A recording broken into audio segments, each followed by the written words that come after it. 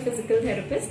I've been practicing since last 11 years and I'm trained in manual therapy and tackling your any kinds of physical pains like uh, knee pain, shoulder pain, neck pain, head headaches. What I also cater to since last uh, two years, I've been catering to women health. So basically working through antenatals and postnatal programs for them. I also specialize into customizing exercise programs and regimes for uh, individuals.